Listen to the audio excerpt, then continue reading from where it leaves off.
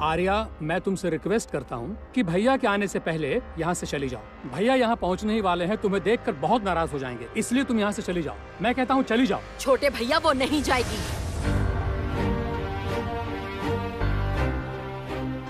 हाँ ऐसा ही होगा। वो नहीं जाएगी। दीदी दीदी तुम गलत कर रही हो। तुम्हें मैं बार बार कह रही हूँ कि तुम गलत कर रही हो। ये सब कुछ करके तुम हमारे घर में क्लेश का कारण बन रही हो। मैं भी तो यही कह रहा हूँ। ये सब मत कीजिए। तुम चुप रहो संजय। रागिनी उनसे तमीज से बात करो। मत भूलो वो इस घर का दामाद है। अच्छा ये इस घर का दामाद है। और मेरे पति ये जो यहाँ खड़े हैं वो कौन है भैया? छोटे भैया वो इस घर के दामाद हैं। लेकिन आप लोगों ने उनके साथ क्या व्यवहार किया है? आप सबने मिलकर उनका अपमान किया है और जमुना? जमुना को मैं इतनी आसानी से छोड़ दूँगी अभी तो मैंने जमुना से उसका घर छीना है और अब इस घर से उसका रिश्ता भी तोड़ूँगा। रिश्ता तोड़ना इतना आसान है क्या?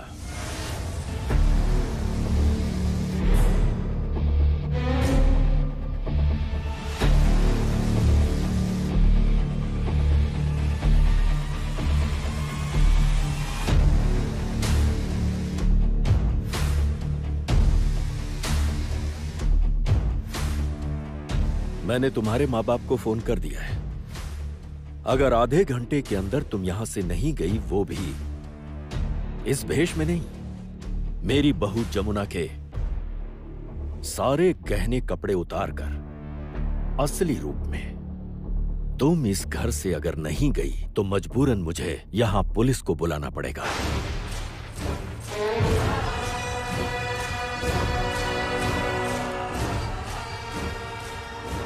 और उसके बाद जो कुछ भी होगा उन सब के लिए ये राय परिवार दोषी नहीं होगा।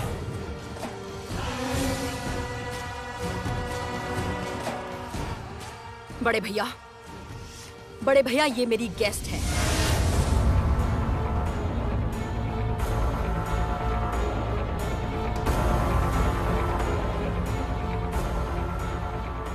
तुम खुद इस घर में मेहमान हो वो भी 24 घंटे की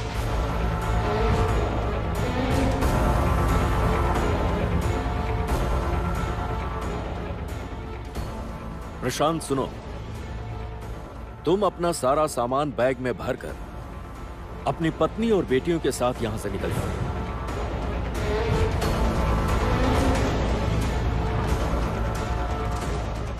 अब तुम लोग इस घर में नहीं रह सकते। और ये मेरा आखिरी फैसला है।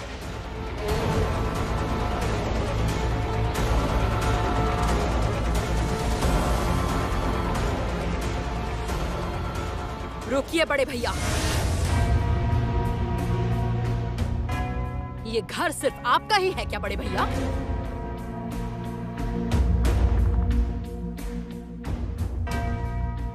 मुझे पता है कि ये घर सिर्फ़ मेरा नहीं तो है फिर? तो फिर बड़े भैया इस घर का सबसे बड़ा हिस्सा तो माँ के नाम पर है। ज़रूरत पड़ने पर उस हिस्से को मैं केदार के नाम कर दूँगी।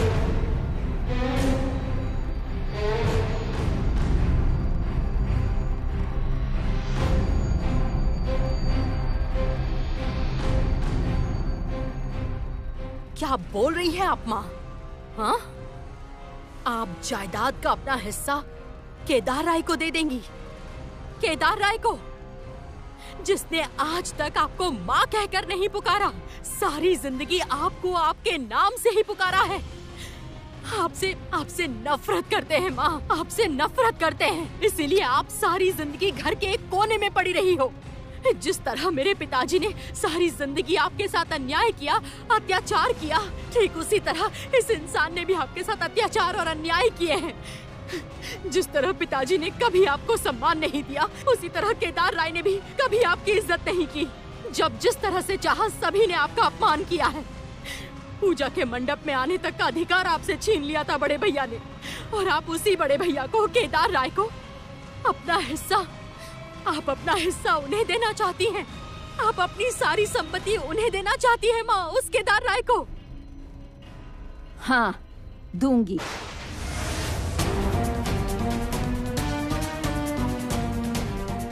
वो मुझे अपनी माँ माने या ना माने, पर मैं तो उससे अपना बेटा मानती हूँ ना।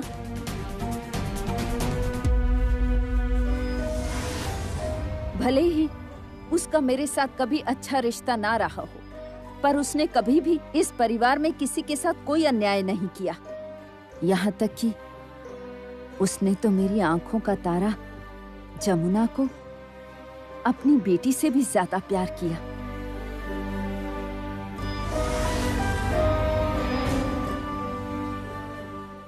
मेरे लिए तो यही काफ़ी है।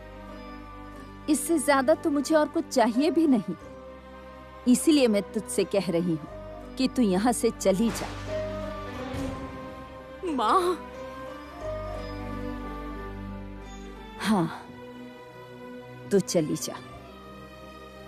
इसका मतलब मैं आप सबकी कोई नहीं हूँ। आप कहना क्या चाहती हैं? मेरी यहाँ कोई ज़रूरत नहीं है माँ। बोलिए। रागिनी तुम्हें ऐसा किसी ने नहीं कहा है। तुम ही बेकार में ये सारी बातों को बढ़ा रही हो।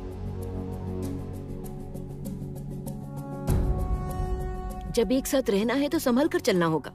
मैं मानती हूँ मानती हूँ कि जब चार बर्तन एक साथ होंगे तो आवाज़ होगी ही, पर बस आवाज़ ही होनी चाहिए। लेकिन तुमने तो राई का पहाड़ बना दिया।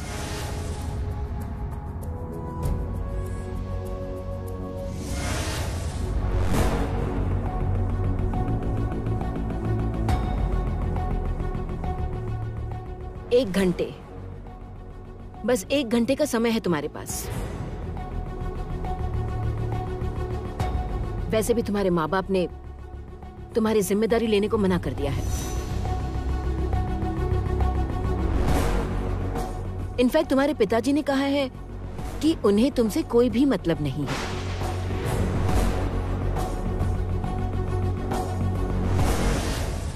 तो तुम अच्छी तरह सोच लो।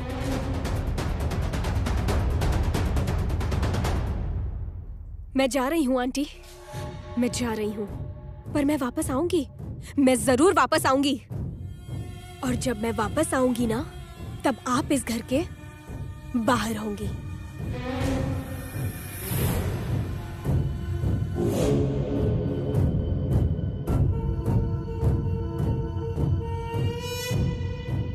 सुनो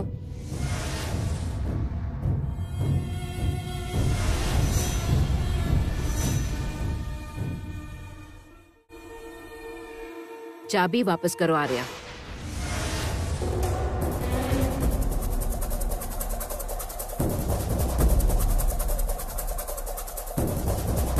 मैंने कहा दो।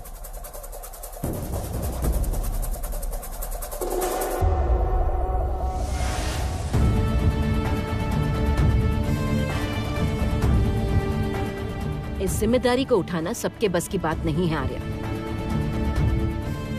ये बहुत बड़ी ज़िम्मेदारी है। और तुम्हारी जैसी लड़की इसके लायक बिल्कुल भी नहीं है, आर्या।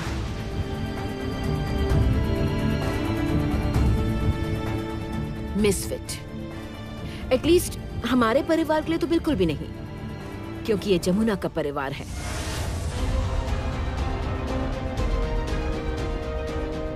आउट मैंने कहा निकलो।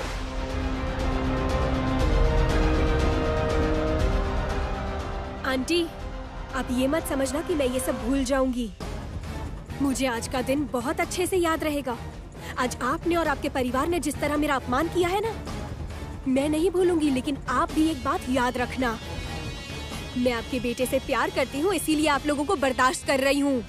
मेरी जगह आप लोगों ने एक ढोली की बेटी को दी है। बहुत जल्दी आप लोगों को उसका स्टैंडर्ड पता चल ही जाएगा। एक ढोली की बेटी।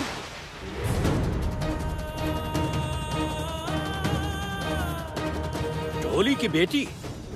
बार बार तुम ढोली की बेटी, ढोली की बेटी क्यों कह रही हो?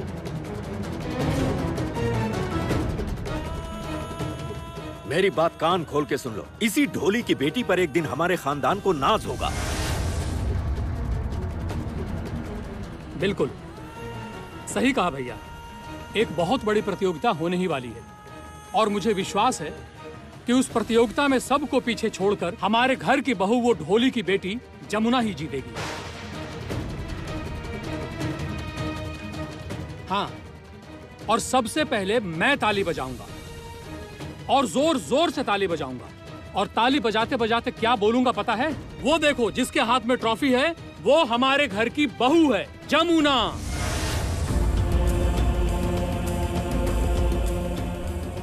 आर्या ऊँचे खानदान से होना ही सब कुछ नहीं है, ये याद रखना।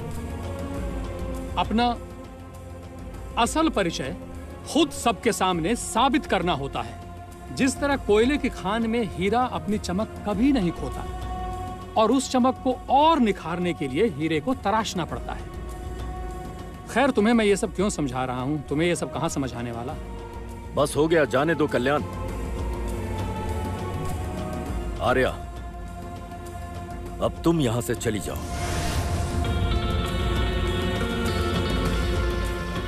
जाओ। जा रही हूँ पर ये अपमान कभी नहीं भूलूँगी मैं। कभी भी नहीं भूलूँगी। आर्या उस कमरे में मत जाना। क्यों? जमुना की साड़ी मैंने तुम्हें दान कर दी।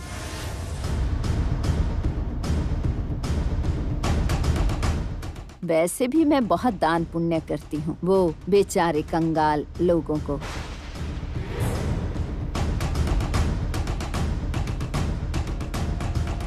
तुम भी तो कंगाल हो ना? इसलिए तुम्हें भी दान करती। विंध्यवासिनी देवी! आर्या!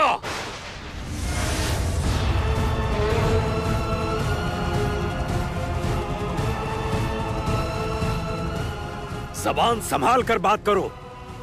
किसे तुमने विंध्यवासिनी देवी कहा तुम्हारी हिम्मत कैसे हुई? क्यों? आप भी तो कहते हैं। मैं इन्हें जो चाहूँ वो कह सकता हूँ ये मेरी माँ है। That's none of your business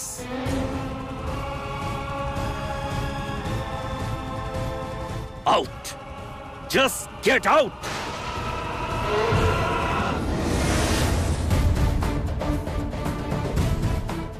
okay okay Arya Arya Arya मेरी बात तो सुनो मैं। बड़ी बुआ जी आज मेरी बहुत बेइज्जती हुई है। अंकल आप लोगों ने आज मेरी बहुत इंसल्ट की है। आर्या आर्या तो मत जाओ। आ- आर्या मैं हूँ यहाँ। मेरी बात तो सुनो देखो बेटी सबके साथ मिलकर रह सकती हो तो रहो वरना तुम भी चली जाओ। चली जाओ। कल्याण। जी माँ। मुझे मेरे कमरे में ले चलो बेटा। जी।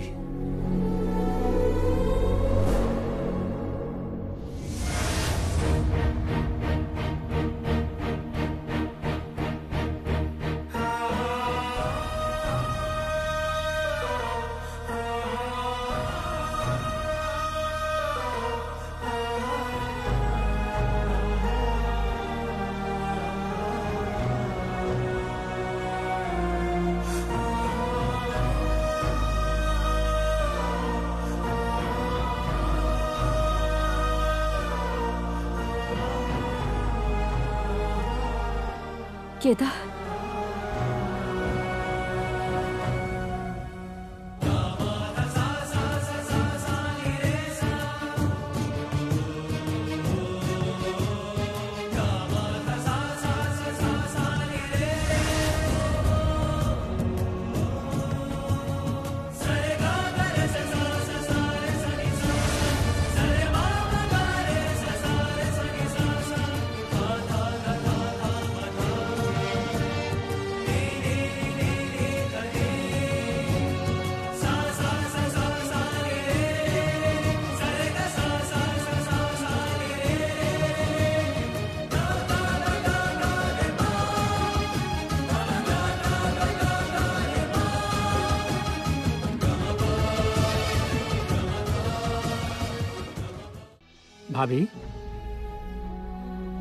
कम से कम भैया ने माँ का हाथ तो थाम ही लिया।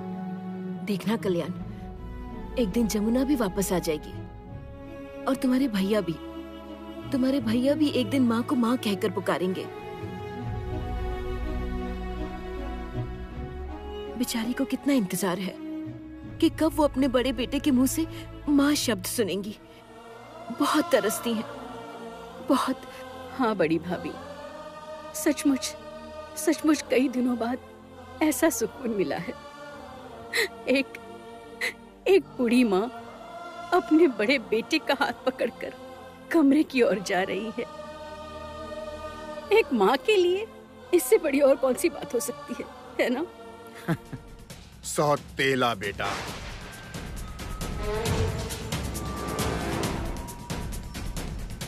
प्रशांत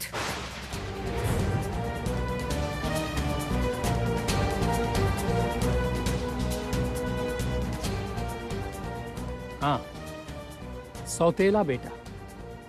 लेकिन तुम बेईमान दामाद। डिसऑनेस्ट हम्म। भाभी फ्रेश हो जाइए। सारा दिन भाग दौड़ में गुजरा है। और मेरे लिए एक कप चाय बना दीजिएगा प्लीज़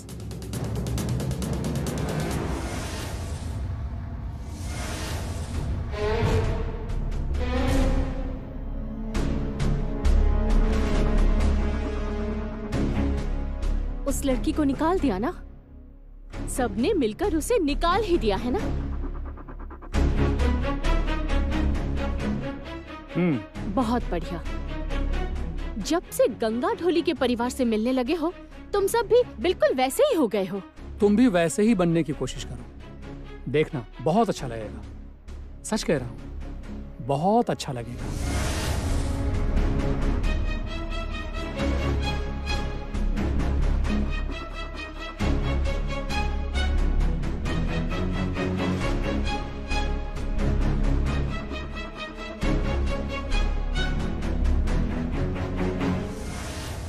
अपना दिमाग ठंडा रखिए दीदी।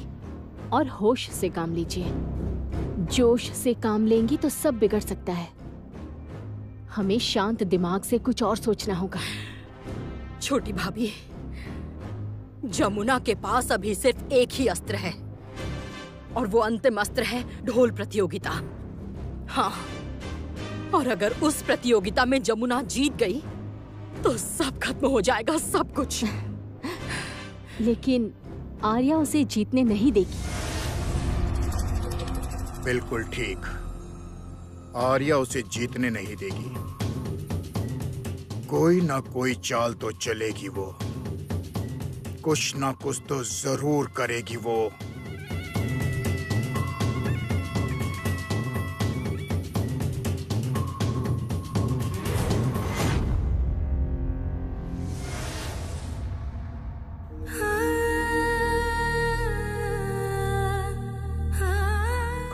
बोल बेटी। कुछ तो बोल। कृष्णा कृष्णा कुछ तो बता।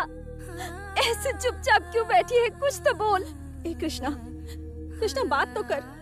क्या हुआ? तो चुप के बैठी है? बोल ना। तो क्यों बात नहीं कर रही है? बोल। कृष्णा प्यारी। ऐ, मेरे पास आ जाओ कृष्णा। दूर हटो।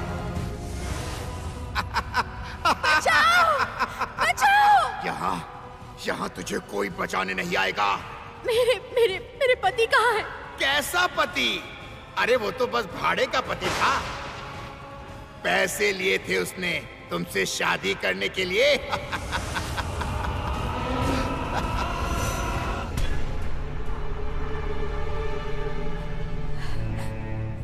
दामाद जी मेरी बेटी को क्या हुआ है? क्या हुआ है मेरी बेटी को? माँ माँ प्लीज़ आप रोना बंद कीजिए। इसको सदमा लगा है, इसीलिए इसकी ऐसी हालत है। आप चिंता मत कीजिए, माँ। कृष्णा कृष्णा, बात करो। कुछ बोलो, कृष्णा। कृष्णा।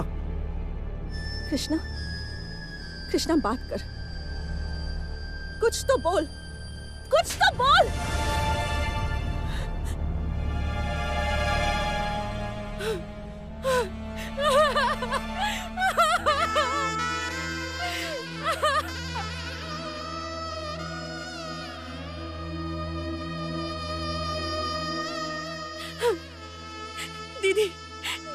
मेरे साथ क्या हो गया दीदी? मैं तो बर्बाद हो गई दीदी। मैं तो मैं, मैंने जिससे शादी की उसने मुझे धोखा दिया दीदी। ये मेरे साथ क्या हो गया? ये क्या हो गया दीदी?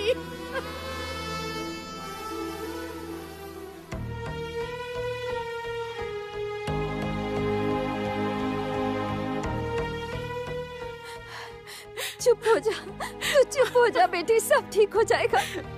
तू बस हौसला रख। ऐसे रो मत बेटी। दीदी आप कुछ भी कर सकती हैं।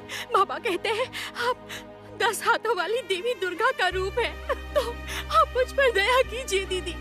और और आपके ससुर जी भी कहते हैं आप कुछ भी कर सकती हैं। तो फिर मेरे पति को वापस ले आइए। वापस ले आइए दीदी मेरे पति को।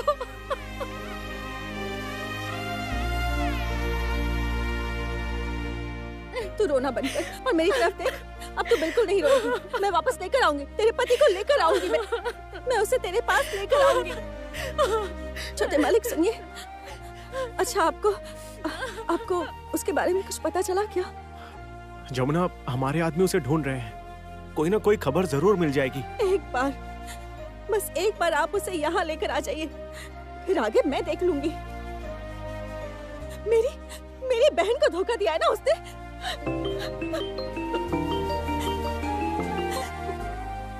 हेलो। मोहन मोहन का पता चल गया है। नहीं नहीं आपको यकीन है कि वो वही है? ओके। क्या हुआ? जमुना मोहन का पता चल गया है। पता चल गया? हाँ। ले आ बेटी। ले आओ जमुना बेटी। हमारे दामाद को ले आओ। हमारे दामाद को ले आओ जमुना। हाँ माँ। ले आऊँगी मैं उसे। मेरी मेरी बहन का घर बसेगा माँ। कृष्णा अपने पति के साथ घर बसाएगी। ये अपना घर बसाएगी। होगा। ये ज़रूर होगा माँ। छोटे मालिक हाँ। आप चलिए। हाँ चलो। मत रो बेटी। सब ठीक हो जाएगा। तेरी दीदी गई है ना वो तेरे पति को ज़रूर ले आएगी। उसने वादा किया है ना वो ज़रूर निभाएगी। मत रो सब ठीक हो जाएगा। सब ठीक हो जाएगा। उड़ी उड़ी जाए उड़ी उड़ी जाए। दिल भी पतंग देखो उड़ी उड़ी जाए। कहने को तो खेल है ये तेरा मेरा साझा।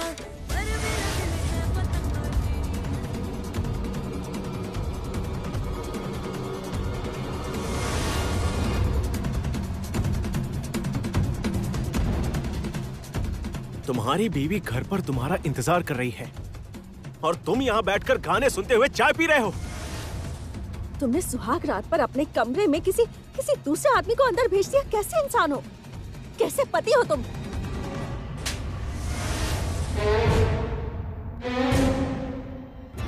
सुनो जमुना दीदी हाथ मत उठाओ समझी? ठीक नहीं होगा। दर्द हो रहा है ना? बहुत दर्द हो रहा है ना? तेरे हाथ पैर तोड़कर तुझे पुलिस स्टेशन ले जाऊँगा समझा? नहीं ले जाओगे। ले जा ही नहीं सकते। क्योंकि तुम्हें पता है कि मैं जमुना की बहन का पति हूँ। नहीं कर सकते। मैं नहीं कर पाऊँगा। दिखाओ तुझे। अब अगर फिर से हाथ उठाया तो याद रखना कृष्णा का चेहरा जीवन भर नहीं देखूँगा। क्या मतलब? हाँ लोग कहते हैं कि मैं बुद्धू हूँ बेवकूफ़ हूँ। लेकिन मैं भी ना कच्चा खिलाड़ी नहीं हूँ।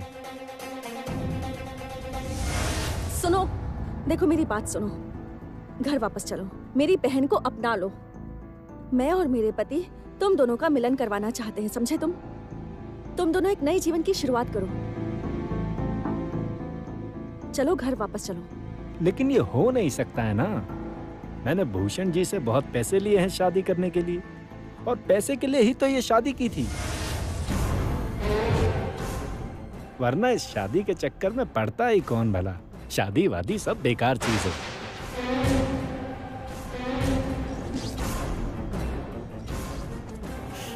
मोहन!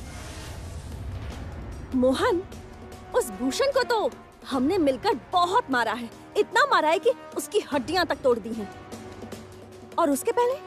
उसके पहले एक गुंडे को गाँव में छुरा मारकर तालाब में डुबो दिया था मैंने। और तुम पर भी वही खतरा मंडरा रहा है। मुझे पता है मुझे पता है कि तुम इतने भी बुद्धू नहीं हो बहुत चालाक हो। और मैं ये बातें बस हवा में ऐसे ही नहीं छोड़ रही हूँ। मैं सच में जान ले सकती हूँ। तो मारो खड़ी क्यों हो? चाकू मार के ले लो मेरी जान। मारो ना। आओ मारो। चुप कर तू। ए, मुझ पे चिल्लाना मत हाँ। अच्छा भला गाना सुन रहा था। सारा मज़ा किरकिरा कर दिया। मेरी बात सुनो। मैं तुम्हारे सामने हाथ जोड़ती हूँ। दया करके घर वापस चलो। मेरी बहन बहुत सीधी साधी है। तुम पर विश्वास करती है, उसका विश्वास मत तोड़ो। मेरी बहन तुमसे प्यार करती है, मोहन। बे इंतहा प्यार करती है। प्यार? प्यार? मुझसे प्यार करती है। तो आप भी एक काम कीजिए ना। हाथ पाँव जोड़िए पैर पड़िए ना मुझसे मिन्नत कीजिए ना। मेरी बहन को अपना लो मोहन। मोहन! मैं तुझे तुम्हें क्या चाहिए? बोलो क्या चाहिए तुम्हें? पैसे चाहिए पैसे। पैसे के लिए मोहन कुछ भी कर सकता है। पैसों के लिए ही तो मैंने शादी की और आप पैसे देंगी तो मैं घर भी बसा लूँगा। समझी जमुना दीदी? आप ना मुझे पैसे दीजिए और एक फ्लैट दीजिए। और हाँ और ए, ए, एक एक बाइक भी। आ, मुझे ना बहुत शौक है हीरो बन के पत्नी को पीछे बाइक पे बिठा के दूर घुमाने कहीं ले जाऊँ। हाँ लेकिन इन सब चीज़ों के बिना ना मैं आपकी बहन के साथ नहीं रह पाऊँगा।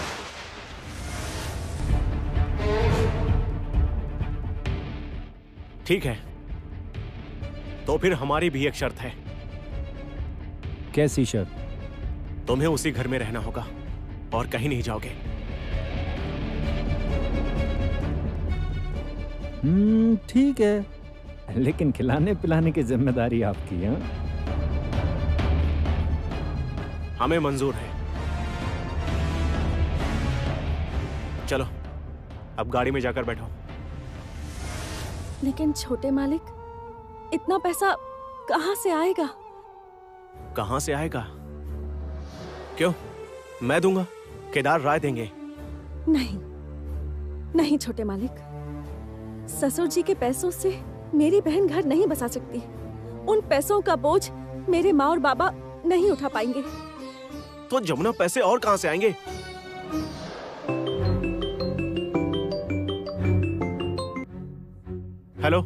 वो संगीत कैसे हो तुम? अच्छा वो जमुना कहाँ है? आ, अंकल आ, आप? हाँ जमुना का तो आता पता ही नहीं है। कल से तो उसकी प्रैक्टिस शुरू मुकाबला शुरू होने जा रहा है। हाँ? वो कहाँ है? क्या अब वो पीछे हटना चाहती? क्या वो चैंपियन बनना नहीं चाहती? देखो मेरा सपना केदार राय का सपना। अनुराधा का सपना सभी के सपने चूर चूर हो जाएँगे। हाँ आप आप खुद ही से बात कर लीजिए। कौन है? रिद्धिमान अंकल लाइन पर है। हेलो? नमस्ते अंकल। बेटी जमुना कल से कल से तो तुम्हारी प्रैक्टिस शुरू हो जाएगी। तुम्हारी एक नई ज़िंदगी शुरू हो रही है। तुम्हें तो चैंपियन बनना है। देखो मैं तो हम सबने तो यही सपना देखा है कि एक बहुत ही पुराने पिछड़े गाँव से आकर एक लड़की हर चुनौती और बाधा को पार करके इस लड़ाई को जीतेगी। तुम इस लड़ाई को जीतना नहीं चाहती क्या? चैंपियन बनना है तुम्हें। देखो बेटी, उस चैंपियन की ट्रॉफी को मैं तुम्हारे हाथ में देखना चाहता हूँ और उसके साथ मिलने वाले 25 लाख रुपए का चेक भी। देखना चाहता हूँ कि तुम तुम विक्ट्री स्टैंड पर खड़ी हो सबसे ऊपर। चाहता हूँ कि तुम सारी नारी जाति और पिछड़ी महिलाओं की रिप्रेजेंटेटिव बनो। देखो जमुना। जमुना तुम्हें जीतना ही होगा। You have to you will have to win please please चले आओ। आऊँगी, अंकल। मैं ज़रूर आऊँगी। मुझे आना ही होगा। लेकिन मैं सारी नारी जाति के लिए नहीं, सिर्फ़ अपनी बहन के लिए आऊँगी। मेरी बहन के लिए मुझे वहाँ आना ही होगा, अंकल। ढोल उठाना ही होगा। ढोल बजाना ही होगा। और साथ में ताल भी देनी होगी। धेक तागुर तक धिमादिम धेक तागुर तागुर तागुर धेक तागुर तक धिमादिम धेक तागुर तागुर तागुर धेक तागुर तक धिमादिम धेक तागुर तागुर तागुर। दिदिम, धीम दिदिम धीम दिदिम धीम।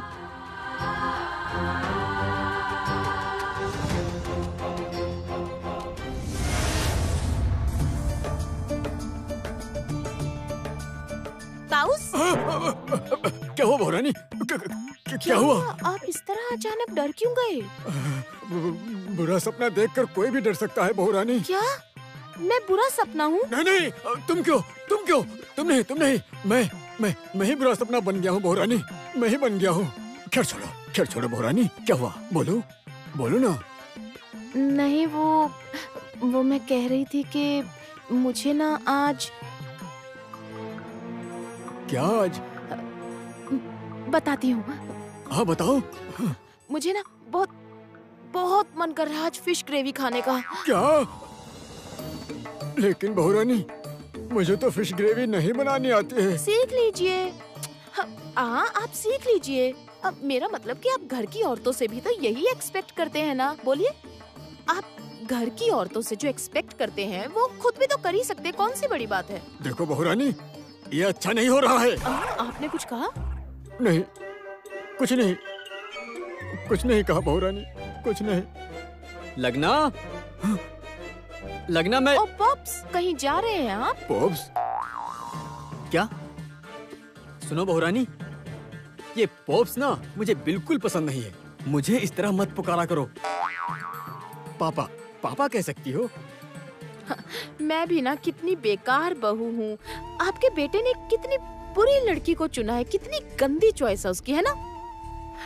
तब मैं हर दिन पार्टी करती थी डिस्क जाया करती थी एक ही घूट में मैं सोमरस पी जाती थी। अब बहुरानी तो अब ये सारी बातें क्यों कर रही किसी हो? ने कहा है। किसने कहा है बहुरानी? नहीं मतलब ऐसा ही तो हो रहा है है ना? और इस घर की बहू की बुराई तो की ही जाएगी कमी तो निकाली ही जाएगी। पहले पहले गुणों में कमी फिर सुंदरता में कमी यही तो होता आ रहा है पॉप्स। बहुरानी ये सब तुम क्या कह रही हो? मैं ये कहने की कोशिश कर रही हूँ कि बात यह है कि आप आज बाहर मत जाइए। मालिका का आज छुट्टी पर गए हैं। तो अगर आज आप गार्डनिंग कर देते तो बगीचे में सारे फूलों को पानी मिल जाएगा पॉप्स। नहीं तो बेकार में सारे फूल बर्बाद हो जाएँगे। क्या? मैं गार्डनिंग करूँगा? मैं? पता है मैं कौन हूँ? राजीव सेन, मालिक, जिसके पैसों पर माली पलता है। एक दिन कर लेंगे तो क्या हो जाएगा? अच्छा गरीबों की इतनी बेइज्जती क्यों करते हैं आप लोग हाँ? बात मानिए, कभी भी गरीबों की बेइज्जती मत कीजिएगा। अब जब भी किसी को देखती हूँ गरीब की बेइज्जती करते हुए तो मेरी आँखों के सामने जमुना भाभी का चेहरा आ जाता है उनकी याद आती है। आप और मुझ जैसे लोग गरीबों की बहुत बेइज्जती करते हैं उन्हें नीचा दिखाते हैं। ए ढोली ढोल बजा। ए माली इधर आ। इनफैक्ट इनका इनका हम नाम तक नहीं लेते। अच्छा इतने सालों से जो माली आपके घर का काम कर रहा है उसका नाम जानते हैं नहीं मतलब जो अंकल आप लोगों की बूट पॉलिश करते हैं जूते चमकाते हैं उनका नाम जानते हैं? नहीं। अपनी गाड़ी के ड्राइवर को देखते ही ए ड्राइवर गाड़ी निकाल! क्यों? उसका कोई नाम नहीं है। उसे नाम से नहीं बुला सकते। इससे आपकी इज़्ज़त चली जाएगी।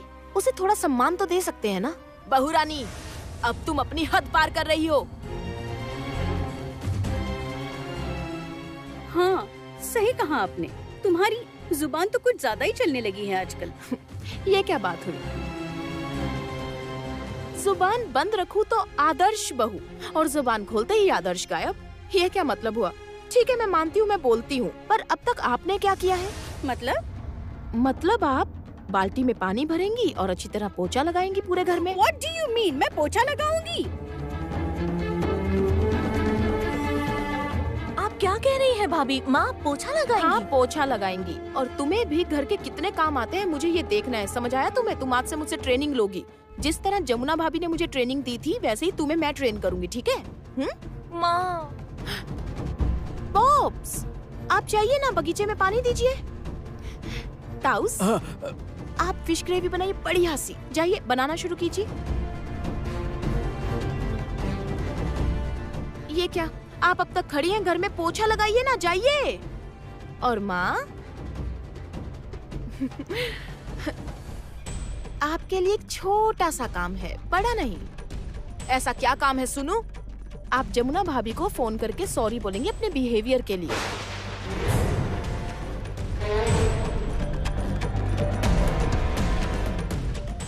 बहू रानी, तुम ये मत भूलो कि तुम अपनी सास से बात कर रही हो। तुम मुझ पर हुक्म नहीं चला सकती।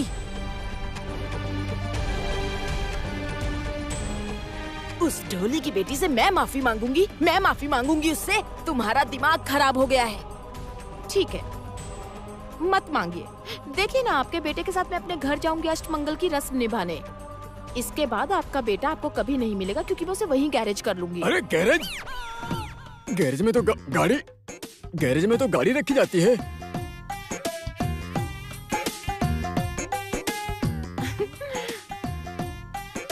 गैरेज में इंसानों को भी रखते हैं। आपको पता नहीं है क्या? अच्छा आप लोग अब तक यहीं क्यों खड़े हैं? कुछ काम कीजिए। पोम्पा, तुम क्या कर रही है? जाकर काम करो ना। कहाँ जाऊँ? तुम मेरे साथ मेरे कमरे में चलो। मैं तुम्हें कपड़े सिलना सिखाऊँगी।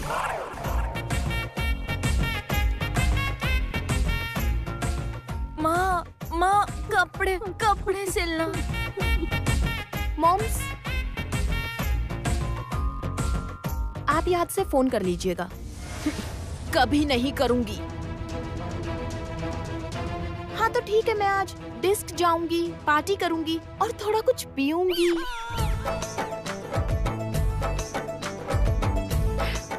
Darling darling! कहाँ रह गए? जल्दी करो। गीत मैं यहाँ हूँ।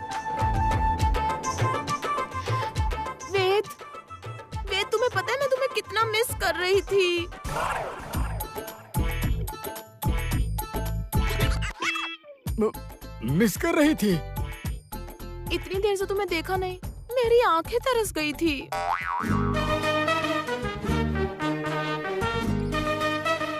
ये आँखें तरस गई बोल रही है हाँ? सबके सामने सब क्या बोल रही हो? ये सब ये सब हो क्या रहा है? कैसे चल रहे हैं देखो। वेद वेद तुम मुझे इतना चाहते हो मैं तुमसे इतना प्यार करती हूँ। हम दोनों में कितना प्यार है, ना बोलो? पर यहाँ किसी को पसंद नहीं। पता है ये लोग क्या कहते हैं? कहते हैं कि मैं तुम्हारी रॉन्ग चॉइस हूँ।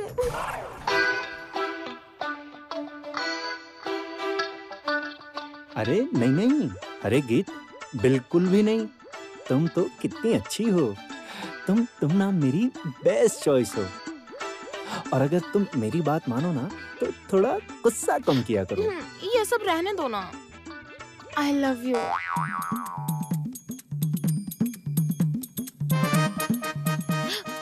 तुम भी कहो। हाँ, अब तुम भी बोलो बोलो ना। सबके सामने? बोलो। I love you to